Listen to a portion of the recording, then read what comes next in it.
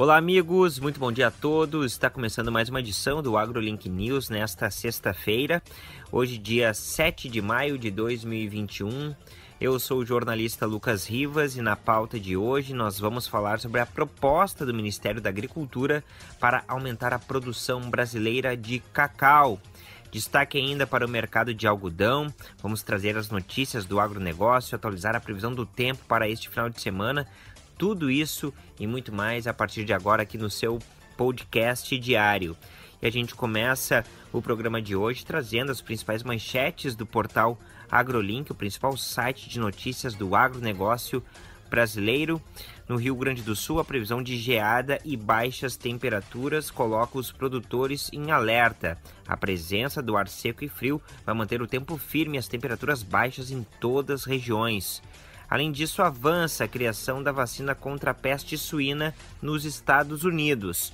Atualmente, não existem imunizantes comerciais disponíveis no mercado.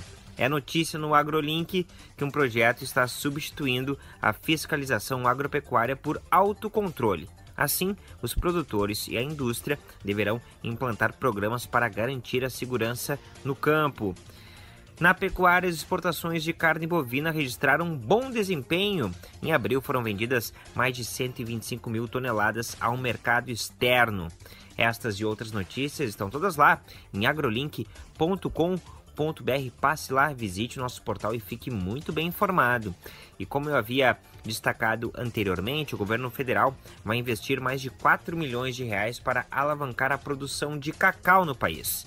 O objetivo é tornar o Brasil autossuficiente na sua produção da fruta até o ano de 2025. Mais detalhes a gente confere na reportagem de Sérgio Pastor. O Ministério da Agricultura, Pecuária e Abastecimento, por intermédio da Comissão Executiva do Plano da Lavoura Cacaueira, CEPLAC, e a Empresa Brasileira de Pesquisa Agropecuária, a Embrapa, inauguraram uma unidade mista de pesquisa e inovação, o MIP, do cacau em Ilhéus, na Bahia. Para fortalecer a cadeia produtiva do cacau, serão investidos 4 milhões e 700 mil reais em quatro linhas de pesquisa, além de transferência de tecnologia entre as instituições. A parceria para a UMIP alia o conhecimento da CEPLAC, responsável por um dos maiores bancos de germoplasma de cacau do mundo, e a infraestrutura da Embrapa, com seus laboratórios de pesquisa genética e tecnologia. A ministra Tereza Cristina destaca que a UMIP é a base para a revitalização da cacauicultura e o alcance da meta de autossuficiência na produção de cacau até 2025. Em busca da meta da autossuficiência, esperamos conseguir destinar ao longo dos próximos dois anos 15 milhões de reais ao setor.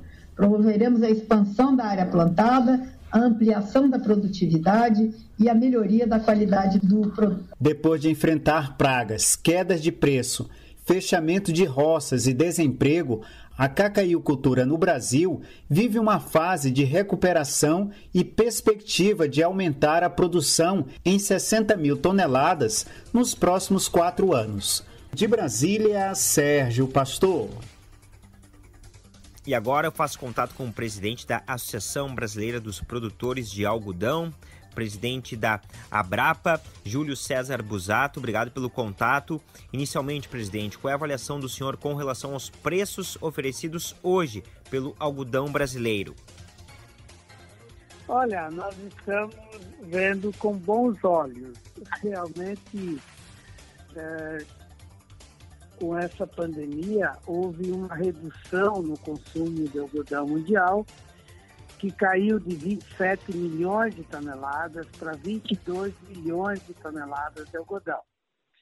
Felizmente, houve uma recuperação de uma forma, inclusive, mais rápida do que nós imaginávamos, e hoje o mundo já está consumindo algo em torno de 26 milhões de toneladas novamente. Então, nós estamos muito próximos daquilo que nós estávamos uh, antes da pandemia e devemos voltar a, aos números que nós estávamos.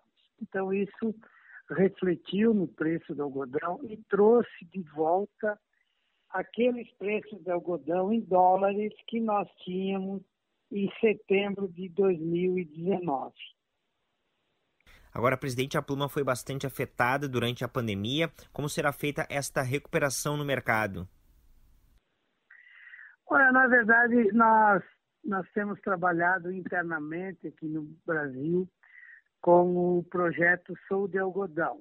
Né? E o projeto Sou de Algodão, ele tem como objetivo substituir as roupas de fibras sintéticas que possuem todo aquele problema de liberar microfibras uh, nos rios e nos mares dos peixes, né, por uma fibra natural, uma fibra biodegradável, uma fibra que é mais confortável e uma fibra que tem sustentabilidade. E, e lá fora, na verdade, nós estamos trabalhando é, para conquistar um mercado maior do algodão brasileiro com o programa chamado Cotton Brasil, já que o Brasil hoje ele só participa, Lucas, com 20% do mercado de exportação de algodão. Então, nós estamos buscando uh, uma participação maior desse mercado e uma maior valorização da pluma do algodão brasileiro, já que hoje, eh, na média, o algodão brasileiro ele é melhor em comprimento de fibra, em resistência de fibra, em microner, do que o algodão dos nossos colegas agricultores norte-americanos. Presidente Busato, há uma preocupação com relação ao algodão fora da janela do estado do Mato Grosso?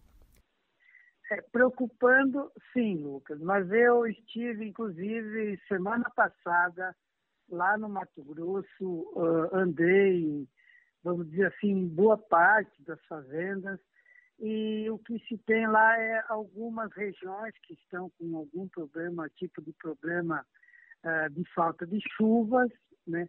mas a grande maioria não está correndo bem, a safra está correndo bem, e se nós tivermos uma chuva agora uh, nesse mês, uma boa chuva, vamos dizer assim, uh, nós ainda teremos uma boa safra uh, no Mato Grosso e no Brasil. E existe uma expectativa de aumento da área plantada para os próximos anos? Olha, vai depender muito de duas coisas.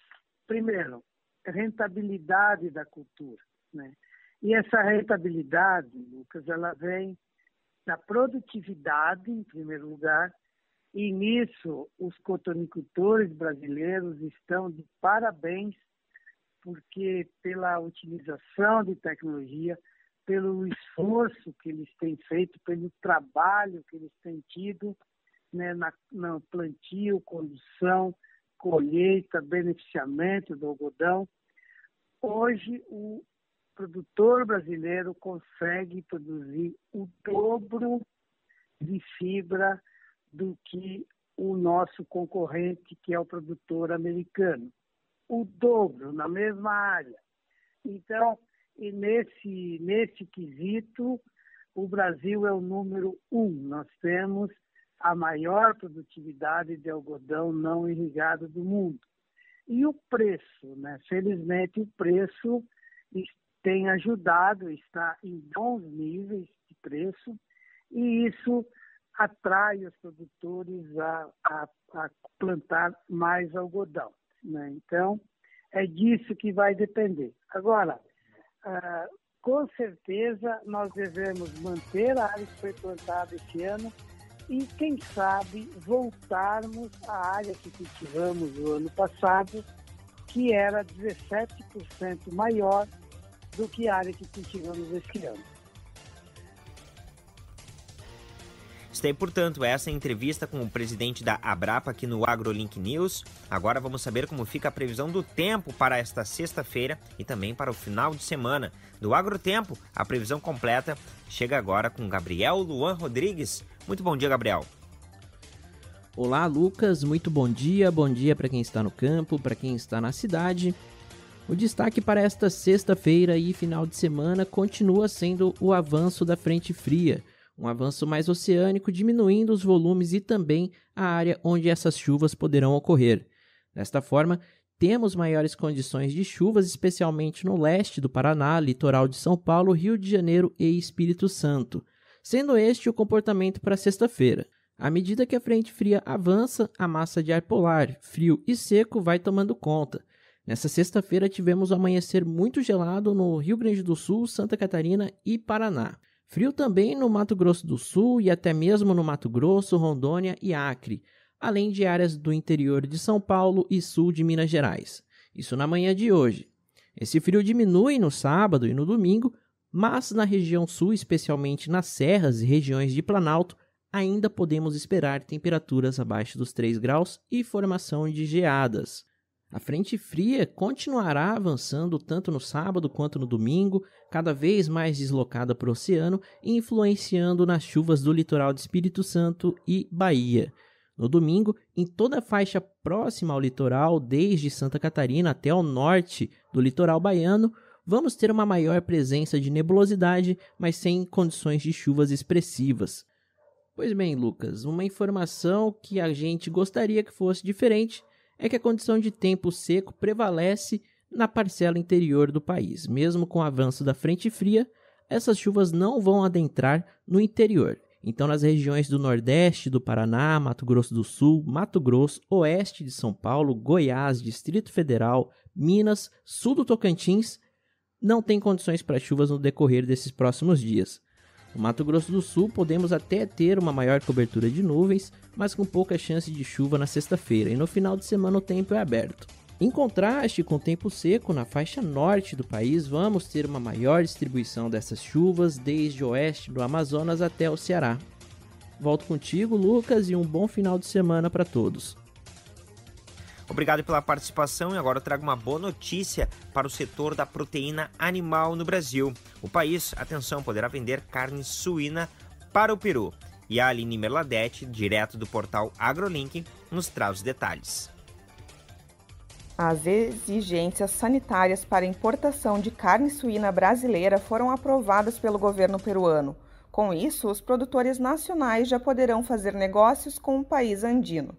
O governo determina diversas diretrizes e regras para a venda do produto brasileiro aos peruanos. As diretrizes regram desde a localização das propriedades até o monitoramento dos produtos, desde a origem até a entrega. O governo do Peru proibiu a importação de carne suína brasileira em razão da gripe suína. Com a volta da autorização, o mercado suíno retorna ao mercado regional. Obrigado pelas informações. E o milho fecha esta semana sendo negociado a saca de 60 quilos a R$ 106,00 em Cascavel, no Paraná, maior cotação entre as principais praças brasileiras. Em Campinas, o milho sendo vendido a R$ 104,00, R$ 103,00 em Alta Mogiana, no estado de São Paulo, em Erechim, no Rio Grande do Sul, R$ 101,00 é o preço do milho nesta semana. Em Uberaba, em Minas Gerais, R$ 95,00. Em Rio Verde, Goiás, R$ 94,00, cotação mais baixa em Rondonópolis, no estado do Mato Grosso, onde o milho fecha a semana sendo comercializado, negociado a R$ 85,00. Com essas atualizações relativas ao mercado do milho, o AgroLink News fica por aqui. Nós desejamos a todos um excelente final de semana e na segunda-feira nós temos um novo encontro marcado. Até lá!